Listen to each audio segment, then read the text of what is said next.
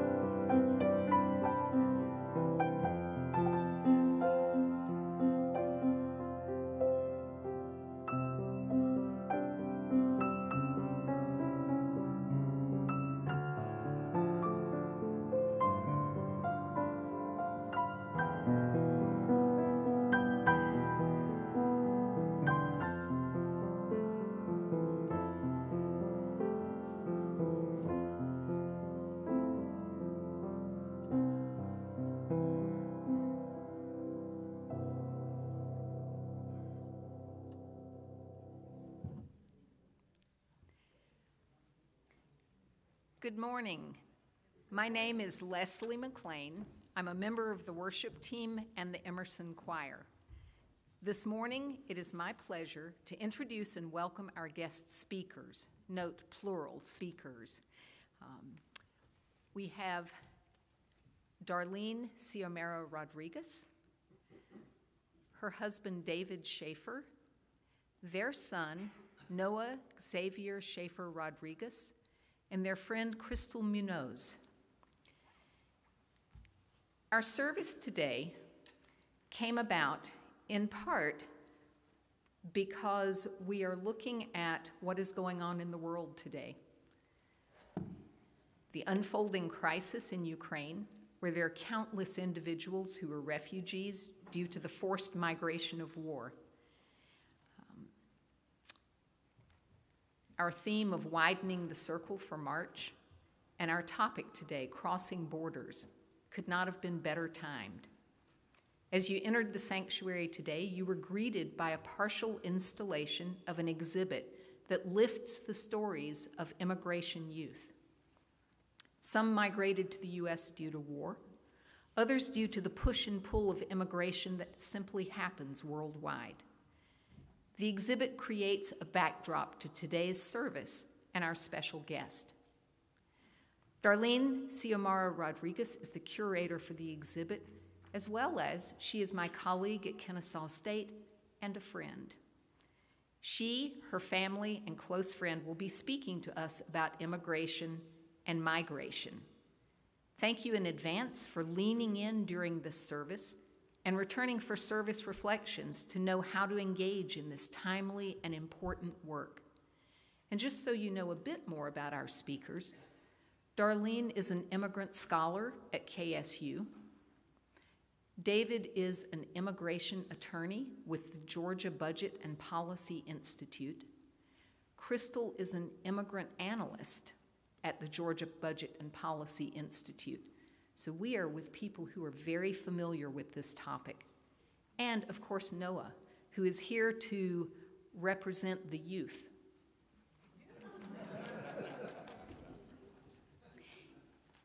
Each Sunday, we pause to light a candle of acknowledgement and remembrance for the Cherokee and Muskogee nations of people.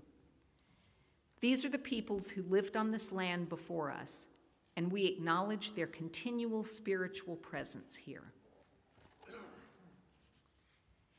May this candle humbly remind us of our interconnection and the impact of our collective actions. May there be healing in all nations of people. Each Sunday, we also light our chalice.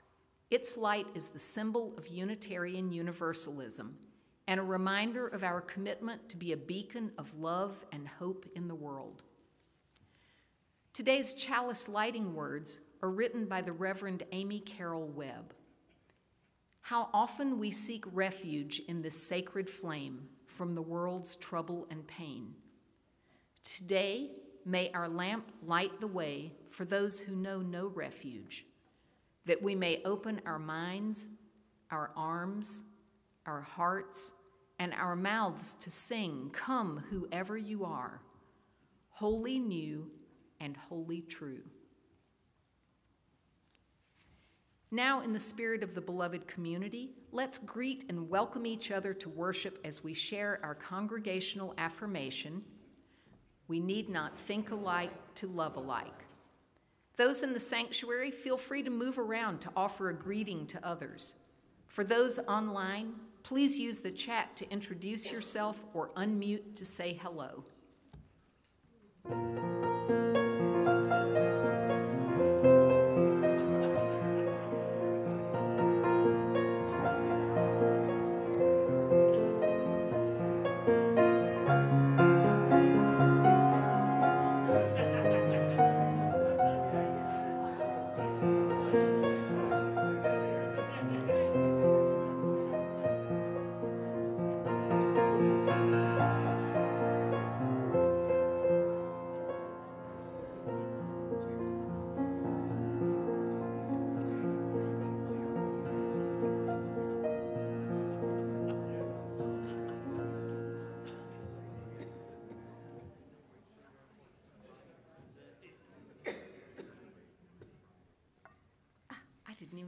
Use the gong. All right. Our opening hymn this morning is number 86 in the gray hymnal, Blessed Spirit of My Life. Please rise in body or in spirit as you are able.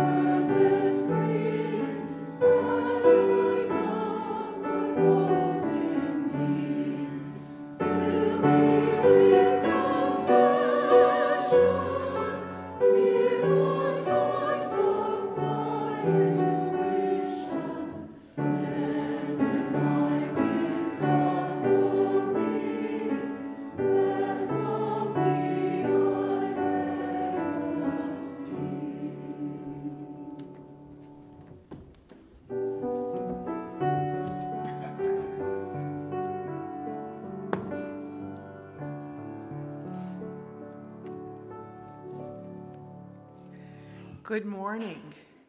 My, my name is Sandra Malik. It's not Ginger White that's in the, the service. Although if I make a lot of mistakes, I'm Ginger White. and I serve as a member of Emerson's pastoral care team. This is a time in our service when we pause to reflect on and share joys, sorrows, and concerns in our life. I invite you to use this moment of pause to take a deep breath.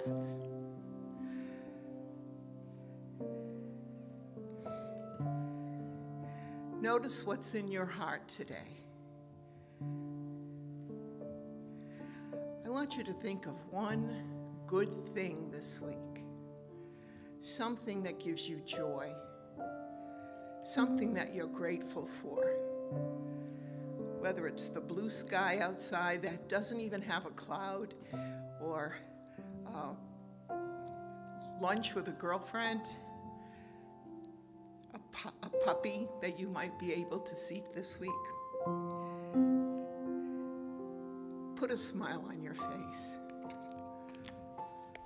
for the joys in our congregation. Perhaps there are also sorrows and concerns that you carry with you today. Allow this to be a time to give them space, to be held with gentleness and compassion. Take another deep breath.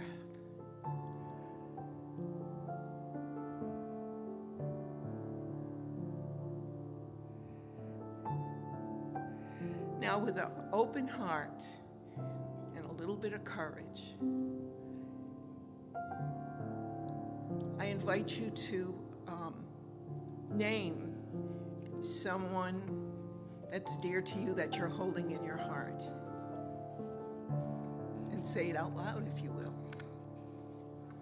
Teresa.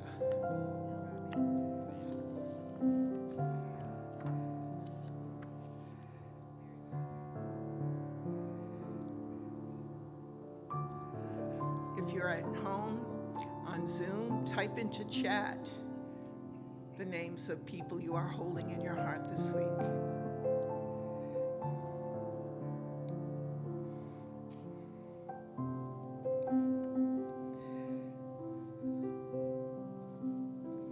Now let us send our heartfelt caring intentions to all beings everywhere by offering the Buddhist prayer of loving kindness.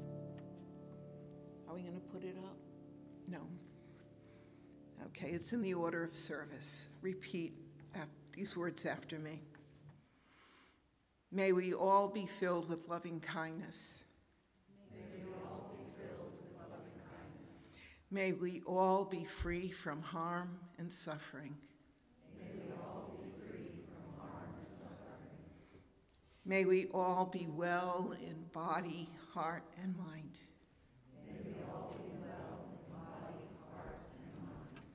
May we all be at peace. Blessed be.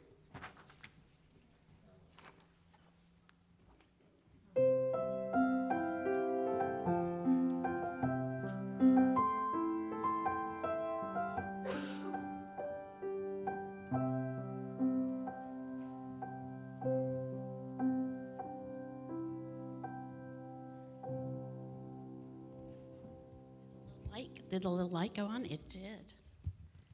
Welcome, everybody. I am so happy to introduce you to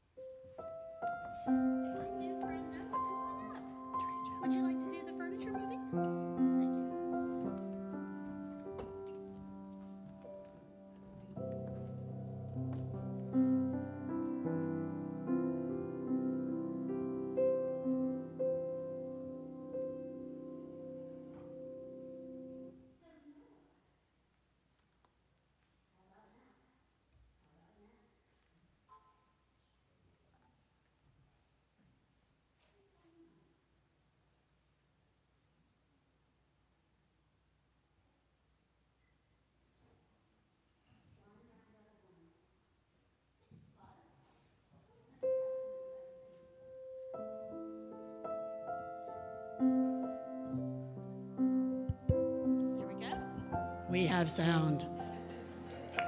Yay. So I want to introduce you to my new friend David. Excuse me, Noah. David says, Pop over here. And Noah, you are a third grader, fourth grader at Shallowford Falls Elementary, not very far from here. And you have a favorite book you've brought today. It's called Iguales pero diferentes, which means the same but different in Spanish. Um, it's a story about a boy in America who becomes pen pals with another boy in India. Oh, don't give the don't give the plot away. Oh, okay. Sorry. You're good. Would you like to start reading? Today in Elliot's class, the teacher announced a very special project pen pals, or friends by mail. Elliot made a drawing of his world in art class. He titled it, This is My World. His teacher loved it so much that she sent it to a faraway country, India.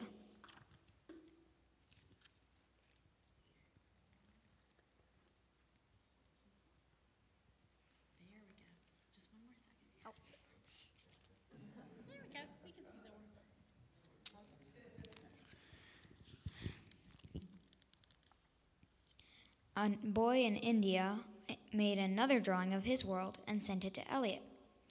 This is my world, the same but different. P.S. What's your name?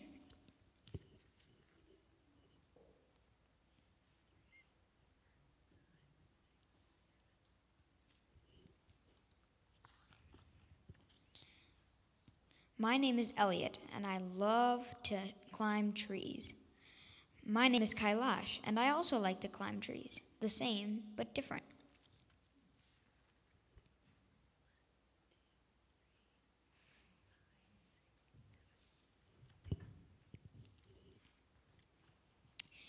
In my city, the buildings are almost as high as the sky. Sometimes it even looks like the sun is hiding behind them. The streets are full of cars, taxis, and buses.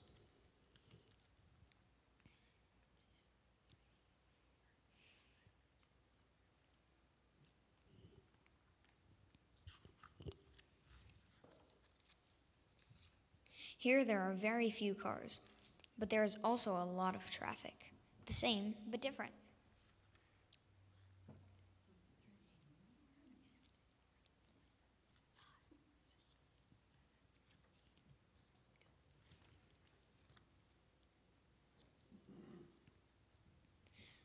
I go to school on a school bus with all my friends. Me too, the same, but different.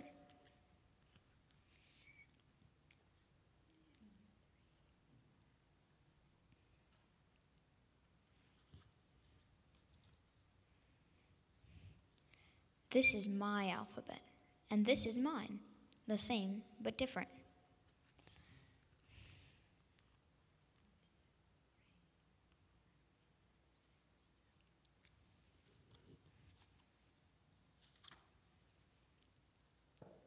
My favorite class is art class. We make so many things. And mine is yoga class. I can be so many things. The same, but different.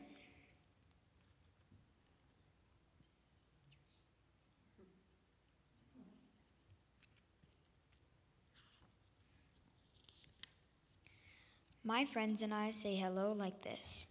We shake hands, we high five, we wave, and we fist bump. My friends and I say hello like this Namaste. The same, but different.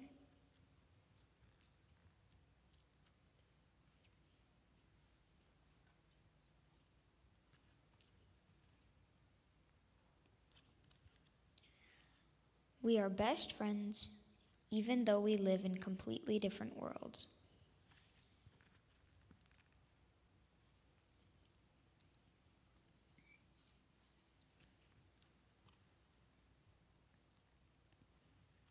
Or maybe not.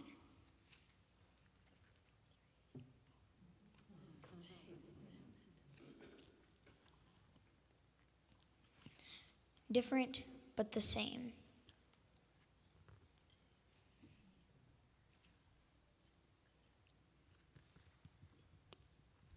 Thank you. Yay. That was awesome. Would you like to help us sing our song of dedication? Sure. That sounds great. Please join me. The words are in your order of service.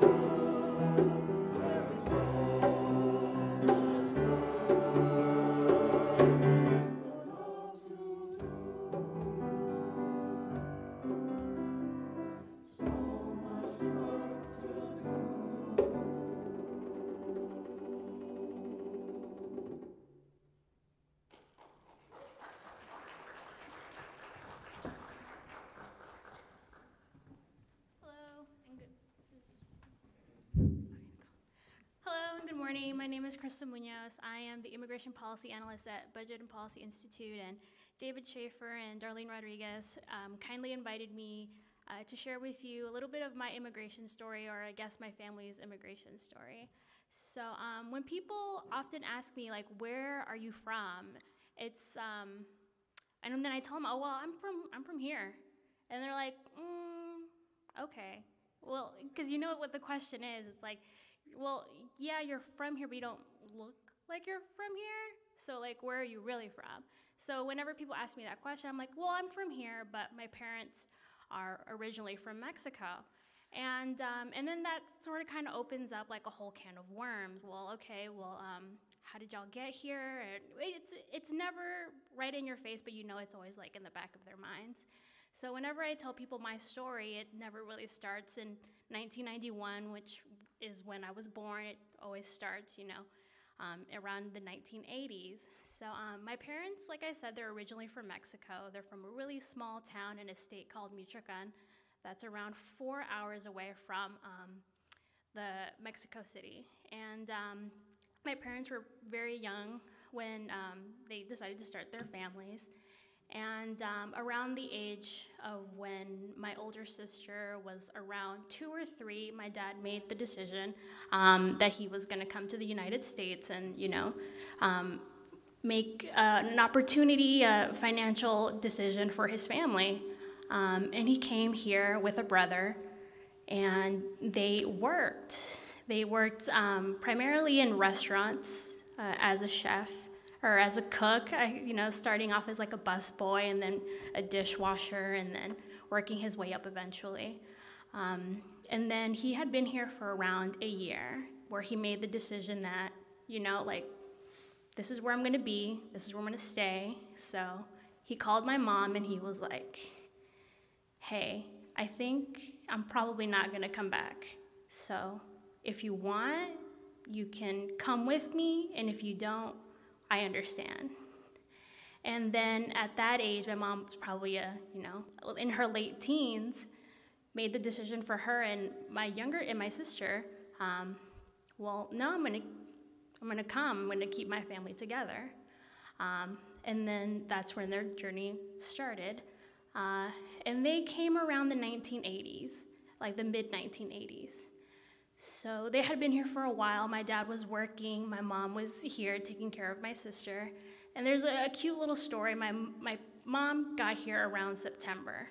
So um, adjusted enough time for my sister to start school. And then there was one day um, in October where people started coming around knocking on doors. And my mom was there by herself with my sister because my dad was working. And she was like, I don't, who are these people? Why are they coming to our doors and knocking? So my mom turned off all the lights in their um, apartment that was located off of uh, Buford Highway. And she locked the doors and she turned off all the lights. And then my dad came home and he was like, What's wrong? Why are you so scared? And she was like, There are people knocking on the door. Like, what, what is this? What are they doing? And then my dad was like, Because he had already been here for a year. And he was like, "Oh, it's it's Halloween. This is what people do. They come around and they knock on doors and they ask you for candy." And mom was like, "What? What is this?" So then uh, they dressed up my sister as like a little cat, and then they went around and trick or treated themselves. But that was just it's just a cute story to tell, um, just because of the cultural differences, and and also to kind of show the fear that my mom was experiencing. You know, she was a young mother trying to protect her family, trying to keep her family together while also trying to be somewhat hidden in a way and not in plain view and you know even being scared to be in your own apartment you know um, where you're typically not seen like having to turn off all the lights. So and then in um, 1986 as you saw in the in the video was the immigration reform and control act. And because of that policy change that was done by reagan um, my parents were able to become documented. And that policy change really changed the, the trajectory of my life and of my family's life as well. Because um, throughout that time, my parents do talk about it. And they, my dad went first because it was a new policy, and no one really knew what it meant or what it was going to do or what it meant for um, their safety to stay in this country. So my dad went first, and he he was able to do it, and he was fine. And then my uncle, my mother's brother, who had been in Florida when um, the policy change came in, he called my mother and he was like, "Why are you not here?" And she was like, "Well, we don't we don't know what's going to happen, and I'm afraid." And he was like, "No, if you don't come, you're going to miss out on this opportunity, and we don't know when it'll happen again." So then my mom went and she was able to do her documentation and her paperwork as well. So what that meant is that my, both of my parents were able to be to qualify as lawful permanent residences. Um, and through there, they were able to get documentation to work, uh, documentation to just live in Georgia and be in Georgia and not have to worry about um, deportation or arrest. And it really took a, a weight off of their shoulders. But what it also, it afforded my family the opportunity to, to for more, for more economic opportunity, for educational opportunities as well. Um, because of that, my parents were able to save up money. They were able to buy a house, move to the suburbs. My older sister was the first person in our family to go to college. I was the second person in my family to go to college. Um, because of that, we were able to, you know, have a stable place to live, a stable, you know, upbringing. Um, my parents had stable employment throughout my whole life. Um, my dad is um, is his is a small business owner as well. So um, I just look at my life and then I compare it to people who were not as fortunate to be here in Georgia during that time, and it's completely different. Um, I grew up in Gwinnett, so Gwinnett is a very diverse place. A lot of immigrants, you know, live there. I went to Berkmar, which was a majority minority high school, and I went to school with a lot of kids who were undocumented, and um, it was very different. A lot of my friends were, the majority of my friends were undocumented. So when it came time to look at colleges, to apply to places, I was basically doing it on my own. Um, I had, the only people I had to rely on was my sister because she had already gone through the process. And I was looking around at all of my friends, and everybody was just like, yeah, well, you know, it's, it's expensive, and I don't think I'm gonna be able to go, and I'm probably just gonna do a, a job right out of work or right out of school, and that's how it's just gonna have to be for a while. And I remember, you know, going to class, but like by myself with no friends, kind of, because it was just me. Um, and then, you know, visiting my friends at their part time jobs after school and seeing, like, just like kind of like the defeat in their face because they were not able to have the same opportunity that I did. And it wasn't because I was any better of a person, and it definitely wasn't because I was smarter than them, because they were way smarter than I was. And I just remember the injustice and how unfair it was that I was able to have this opportunity and that they didn't. And it, the only reason that that was able to happen was because I have a, a nine digit number that's associated to my name it happened because my parents were here at the right time and at the right place and and it, it really makes you wonder how different things are and um, for other people and my parents had no connection to the united states. Had my dad not been here at the time that he did had my parents not done the, the documentation that it needed to happen to do that way um, i probably wouldn't be here talking to you guys right now. I probably wouldn't be doing the line of work that i do. Um, and that's part of the reason why I do the work that I do is because I believe in policy change. Um, you know, the people who enact it are probably not always the greatest people, but I do believe in the change of policy and the, the effect that policy can have on people's lives and the positive effect that it can have in people's lives. So, so yeah, I think that's it. But thank you.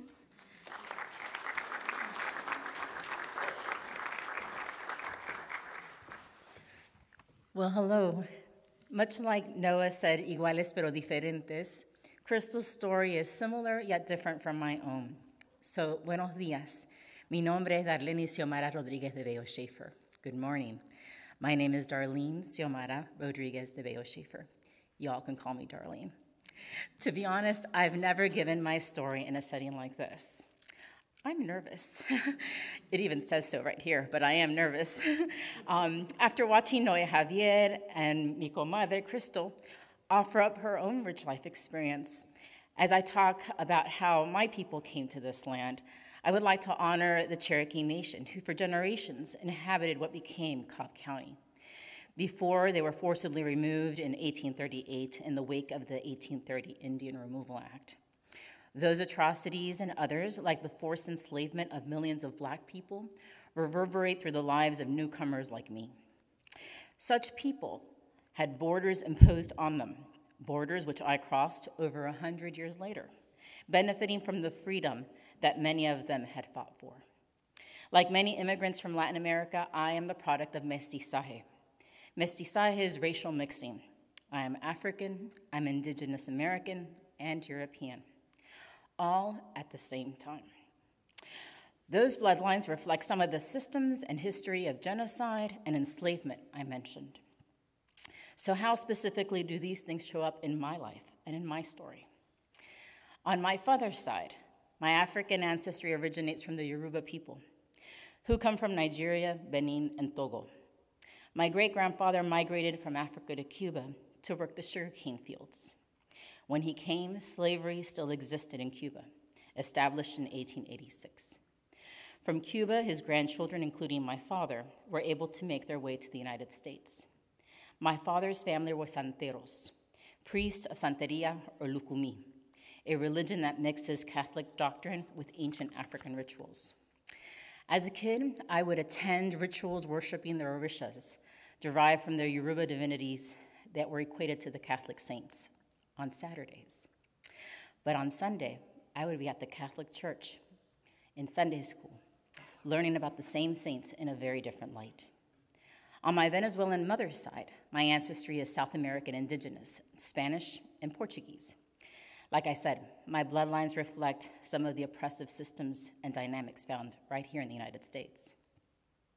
My mother had first come to the United States because my grandfather was a pilot helping to instruct and share with others how to do the first transcontinental passenger flights from South America and the United States. My mother lived in fear of my father. He was abusive and frankly quite dangerous. For years, he sent someone to follow me, to keep tabs on me, to make my mother fearful that he would take me away.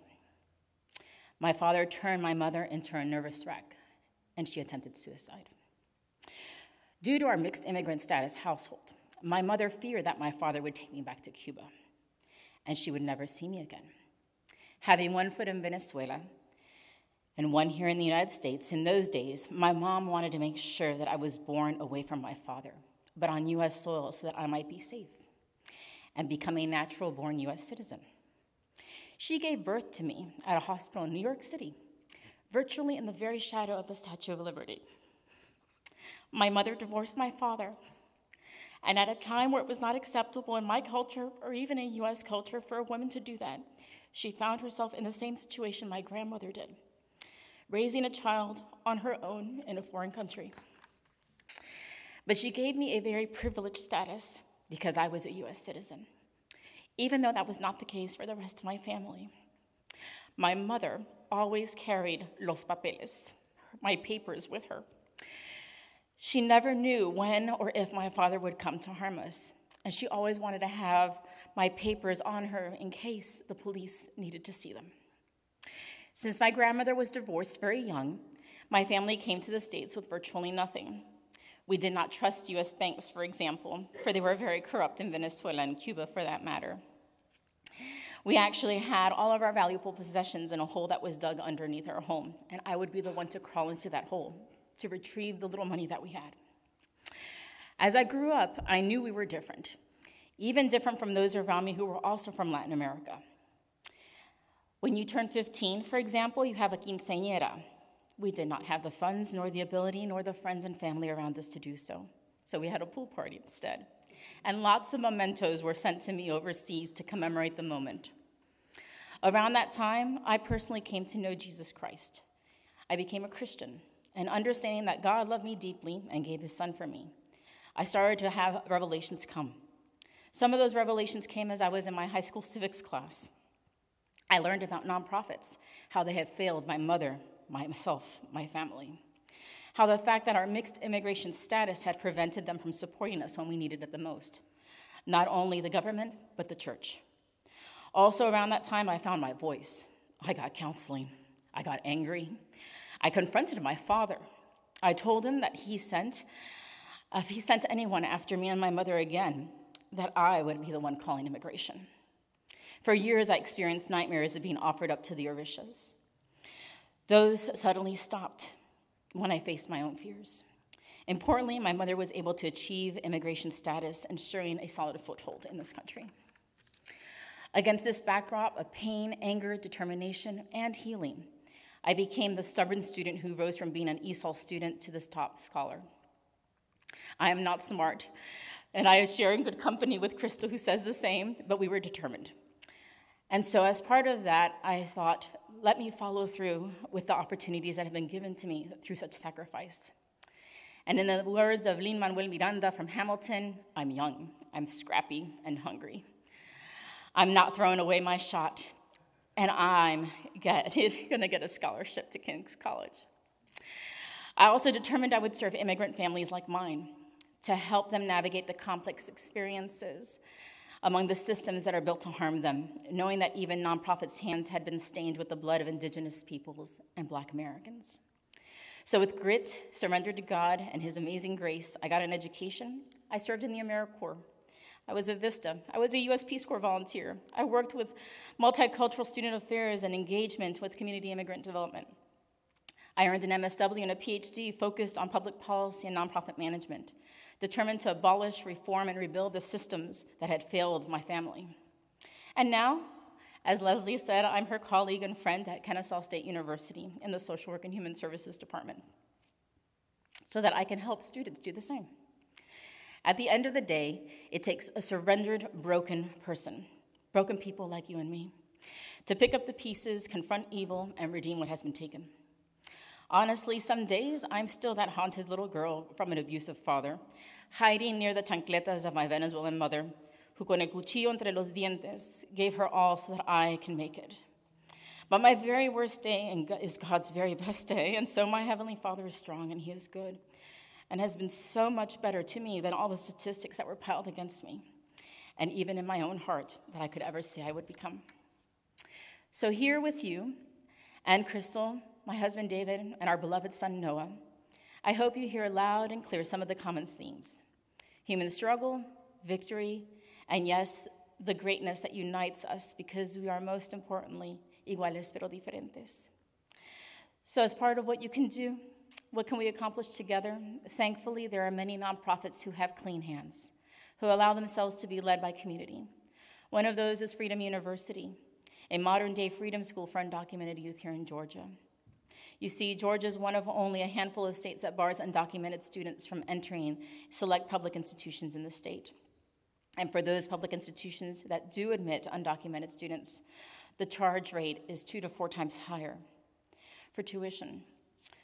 So when you have this month's offering, we're asking you to consider giving to Freedom University to help serve and combat discriminatory practices that harm our immigrant youth. In fact, I even wrote a paper called FU. about Freedom University and about the liminal state that immigrant youth must navigate in order to obtain the American dream and not live out the American nightmare. I know you're going to have some questions to discuss what you've heard from us, and we encourage you and welcome you to come back. We want to hear from you.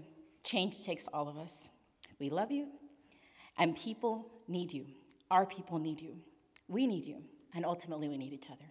Thank you.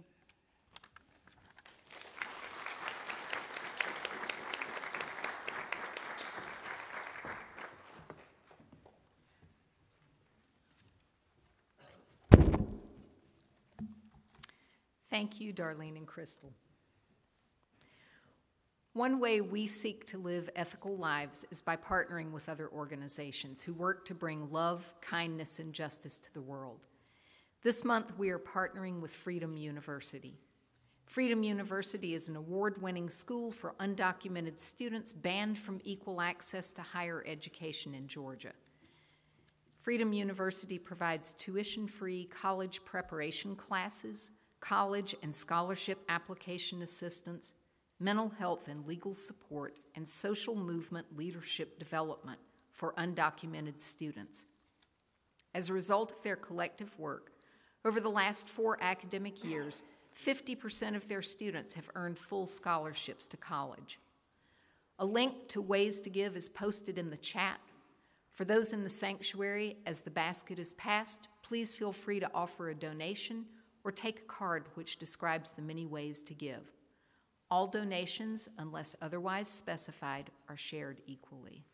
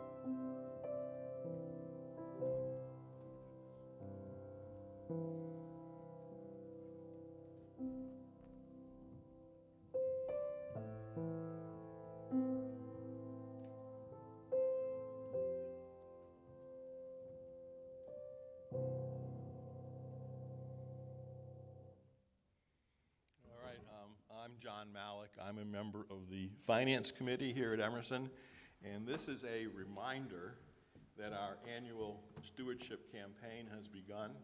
Uh, It's a couple of weeks old now. Um, The theme is, "What the world needs now is more UU." And I think with what we've seen for the past couple of years and what's happening now overseas is, the, the theme is very appropriate. More UU means to me more tolerance. So what we've done is to remind people to submit their pledge. You all should have received a brochure like this, either here or in the mail. And the back page of the brochure is a pledge card, or you can submit your pledge online. We do this annually because we are self-supporting.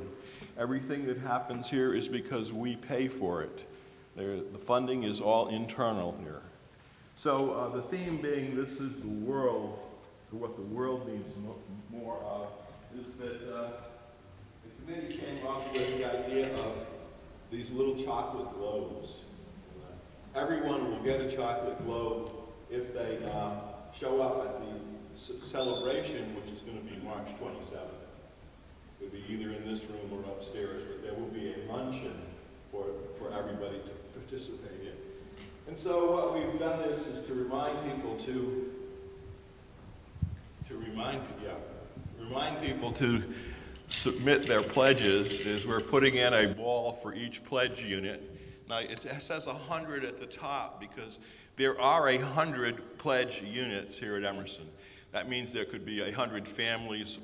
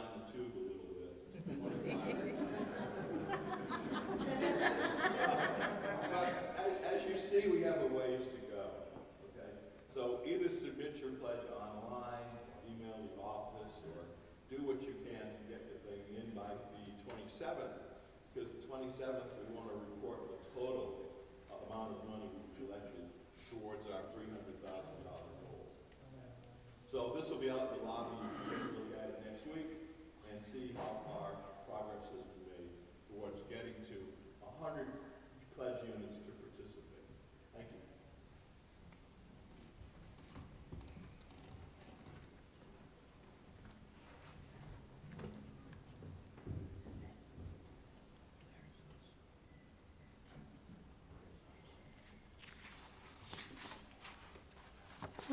Our closing hymn is number 207 in the gray hymnal, Amazing Grace.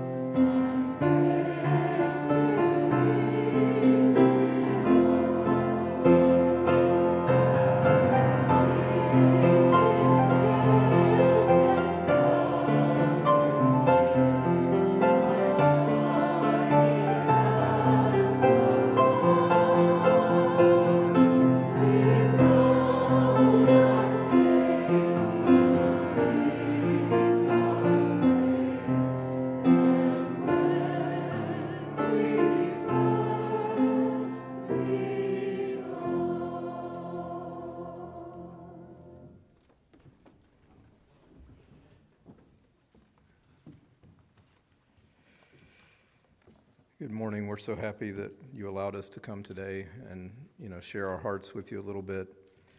And, um, you know, to hear from two very powerful women uh, who have been through the experience and have walked it out and, and have risen to the challenge of making the world a better place.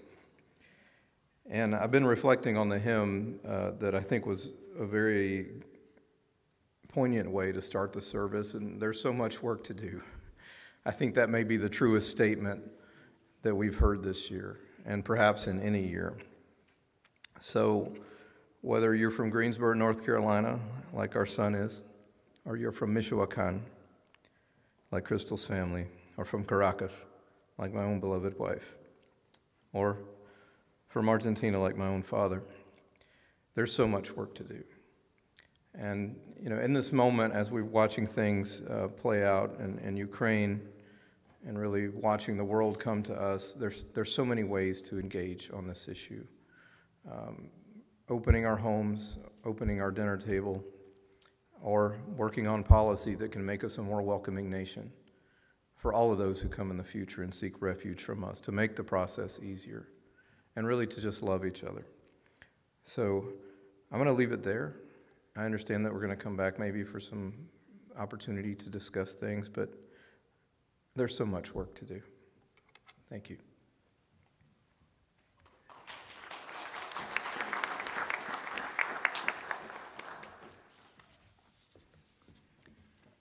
We hope you have been nourished in heart and mind by our worship today.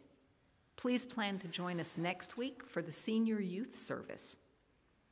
As our chalice is extinguished this morning, please join me in the final words. They're posted in the chat for those of you online and in the order of service. We extinguish this chalice, but not the light of truth, the warmth of community, or the fire of commitment. These we carry in our hearts and out into the world until we are together again.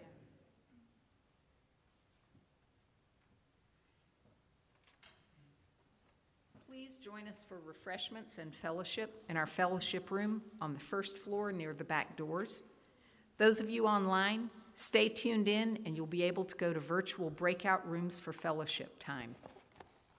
At 11:15, our second hour activities for adults, children, and youth begin. Please see the listings in the order of service. Our service is now concluded, but our connection has only begun. Go now in peace and take peace wherever you go.